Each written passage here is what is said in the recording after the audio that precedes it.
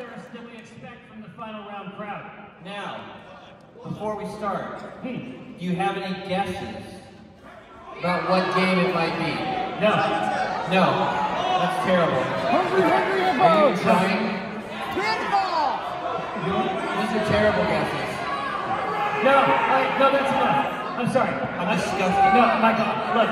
No, that's enough. I have to put a stop here. Please stop. I have to put a You stop shame here. us both. It's disgusting. Uh, listen, so let's just, we're just going to start out, it's, it's something like a, it's like a trivia question. It's like we're familiar with Tetris, correct? We have some familiarity with Tetris? Uh, we will never do Tetris as the final round again. No. Because the very second PAX ever, we assumed that Tetris was a commonly played game by all people. Everyone knows how to play Tetris. That should be an even game. We found the one motherfucker who has never played Tetris before. the other person was madly forming lines. It was architectural. It was beautiful. The other one just stacked them up tall and Like a tree. he misunderstood some fundamental things about Tetris. So we're not we're not playing Tetris. Absolutely not. But we found a way to get a little Tetris in. What if I told you that there was a game that was equal parts Tetris and murder? well, there is such a game. It's on the Super Nintendo Entertainment System, and it is called Rampart.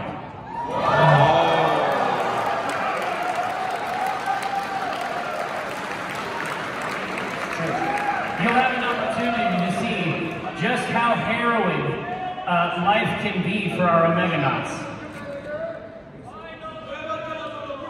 There you go. This is going to be good. All right, now, uh, but of course, uh, we need those doomed and damned souls. These poor bastards. That's right.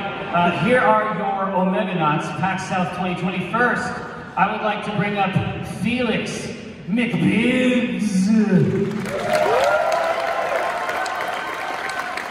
That's Felix McBiggs. That's the one I'm just talking about here. Stay back. But there's another one. Cybermonk.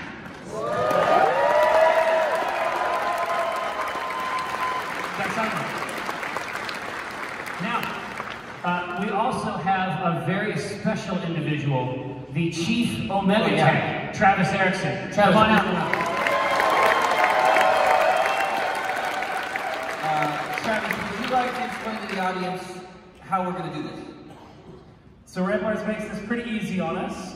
Uh, we're gonna play best of five. Yep. So first one to three wins.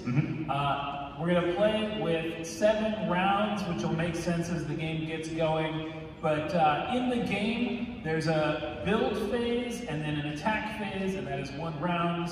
A build and an attack in one round. And we'll have a winner at the end. It'll be real clear at the end who's winning. So we can get right to this. Yeah. All right, All right, let's get guys set up. up here.